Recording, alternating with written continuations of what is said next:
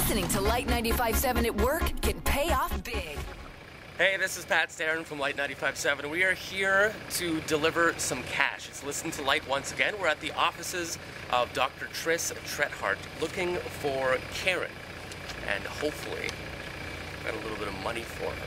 500 bucks here if she's listening to Lite 95.7 and if they've got our sign displayed. So let's go check it out. We're waiting on Karen, but you can already see our signs right up there.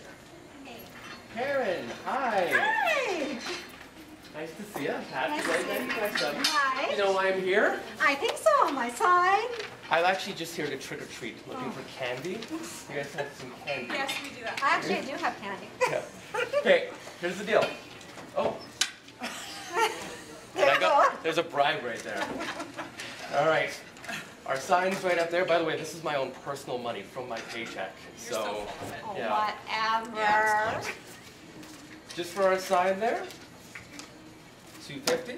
And is that like 95.7? Of course. Of course. There you go. Another 250. 500 bucks. Congratulations. Thank you so much. Listen to Lite 95.7 at work and we'll reward you with cash. Our Lite crew could stop by your office at any time, but you can only win if you sign up now at lite957.ca.